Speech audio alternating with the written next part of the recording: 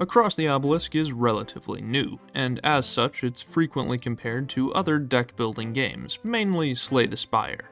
To be fair, I can understand how the comparison is made, you know, both have deck building mechanics, moving through the map, classes, status effects, and boss fights, but I am here to tell you that they are nothing at all alike. This is because of one simple reason. In Slay the Spire, you're in full control of your deck, building and crafting the perfect amount of sustain and damage, weaving status effects and creating combos. Whereas in Across the Obelisk, your healer doesn't have any fucking healing cards, god damn it. Scott, just do your fucking job. Welcome to Across the Obelisk, which was actually released about a year ago, but it just now hit its 1.0 release, and oh boy is it fun. The main twist is that the game is multiplayer, which is something you don't see very often in deck builders, and it leads to a variety of interesting interactions. I'm sure it'll be fine. It'll just work. If Easy he spell. doesn't draw a healing, which he Oh. did. Oh, self I forgot about that. Oh, that's fine. Uh, hey, hey, Scott. Do you want to explain why our healer only has a 35% chance of drawing a healing No, card no, from his deck? I, I, I don't know what you're talking about. I don't know what you're to talking about. explain that? I don't know what you're talking about. I don't know what- Why the fuck do you guys have like 40 card decks? What's happening? The story is just a group of heroes traveling across the lands to rescue a princess, but that's not really important. Besides snippets of character stories or brief lore interactions, the story doesn't matter. So let's talk about what does matter the gameplay.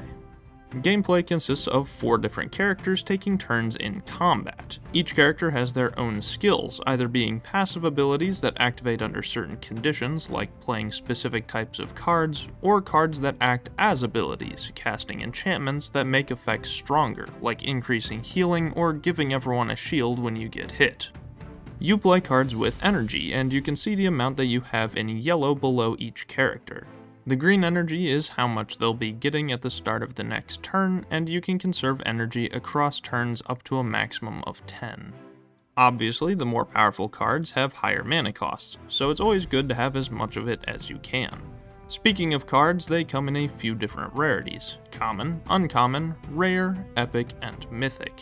While common and uncommon cards can be found easily in shops and towns along your adventure, epic and mythic cards are the real deal and can only be found as rewards for events or battles. Each card also has a type. These can be anything from attack or defense to things like mind spell or enchantment. Each card type has some special properties that can usually be modified by items. Each hero on your roster has 5 item slots weapon, armor, ring, accessory, and pet. Weapons usually modify attacks, like making all of your damage fire or making sword attacks deal more damage. Armor modifies resistances, granting you extra health or applying more block. Rings can do a variety of things, but usually they either grant defensive bonuses or mix up damage, like making all bleed stacks turn into poison instead. Accessories are usually items that give you a healing bonus or discount a certain type of card, and pets are specifically bought in town and play a certain action every turn. This can be anything from a little extra damage to casting a shield on all heroes. Generally, all equipment is helpful in some way, and you can get some absolutely game breaking builds if you're lucky enough. However, the most important part of absolutely dumpstering this game system is the characters themselves. So you can't just use any card on any character. Cards come in four types, one for each class in the game. As of the 1.0 release, there are four classes with four heroes each. These classes are Warrior, Scout, Mage, and Healer, and each class can only use its own class cards. Keep in mind that while all mages have access to Fireball, every hero also gets their own passives and cards as discussed earlier, making Fireball better on some characters than on others. Now, because this release just came out, I really can't find any tier lists for characters out there. So while I explain what each character does, I'll put them on the objectively correct 1.0.1 across the obelisk hero tier list. Let's begin with warriors. Magnus. The starting warrior is a big fucking furry. Honestly, his entire kit revolves around not only tanking but also dealing damage, so it's too bad that he's fucking horrible at both. C tier. Heiner. this is not a place of discussion. Heiner is the best tank in the game, and it's by a lot.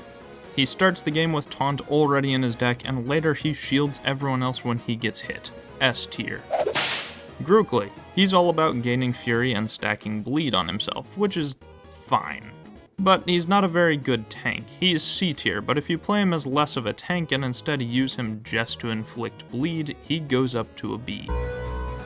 Bree. She specializes in thorns, which deal damage to enemies when she gets hit. Incredibly based, incredibly fun. A tier. Next is Scouts, starting with Andrin.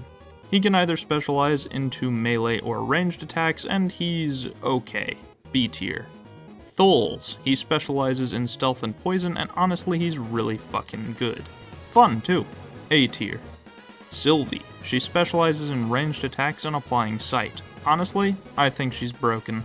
S tier. Now the last scout, Gustav.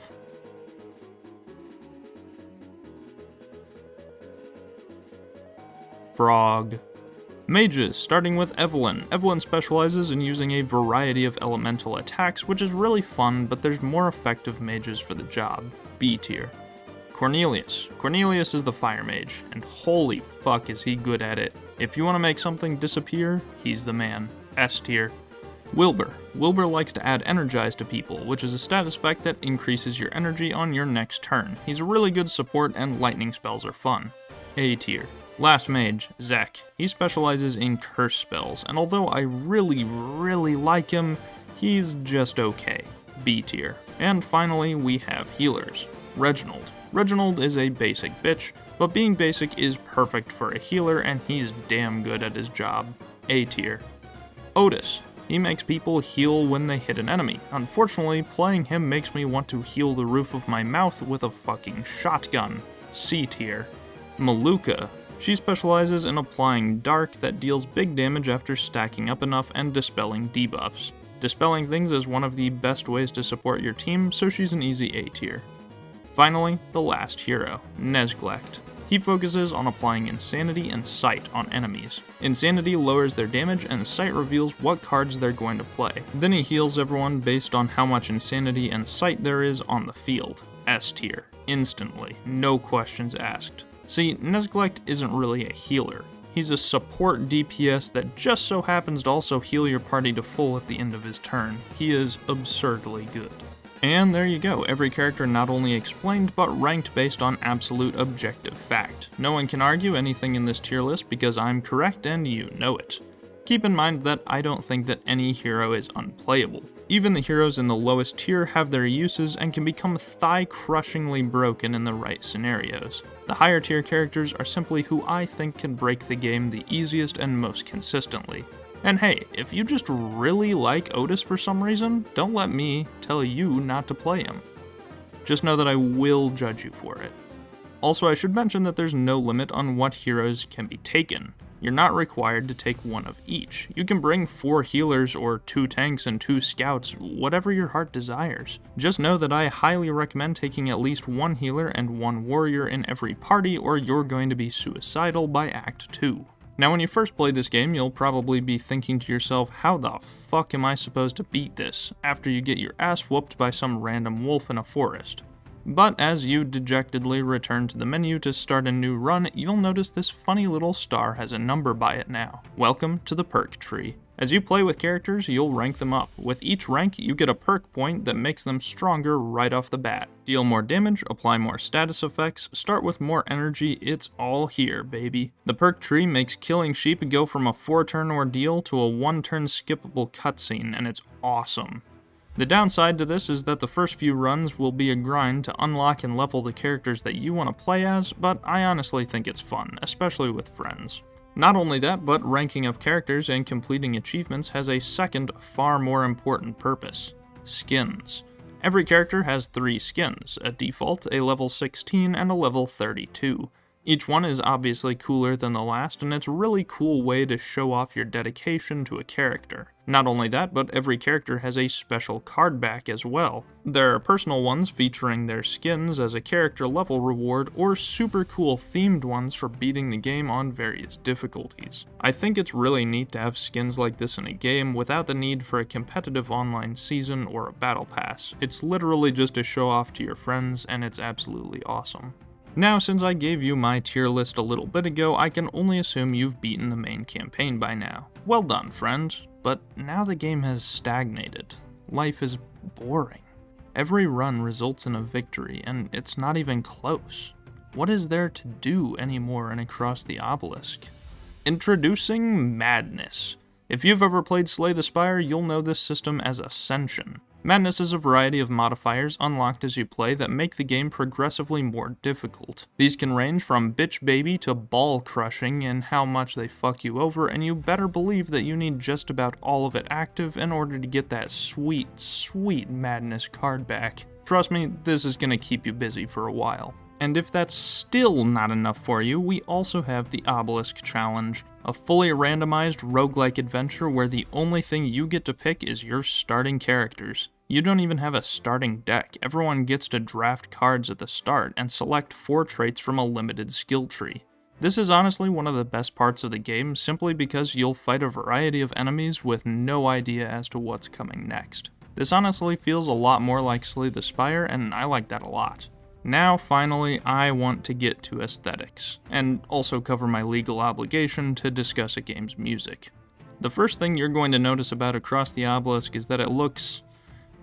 well, it looks like dog water. The graphics are fine, but I personally don't really like the art style. This combined with animations that are sorely lacking any impact makes the game just feel a little bland, I guess. Keep in mind that I'm a big proprietor of gameplay over graphics, but that doesn't mean that the graphics aren't important at all. I just wish that I had something pretty to look at when I played my cards.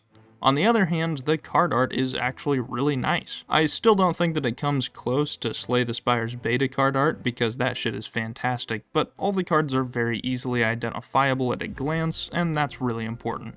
On to the final and most important point, the music. As much as I would love to tell you that I'll be adding the whole soundtrack to my playlist, I think only one or two songs could make it.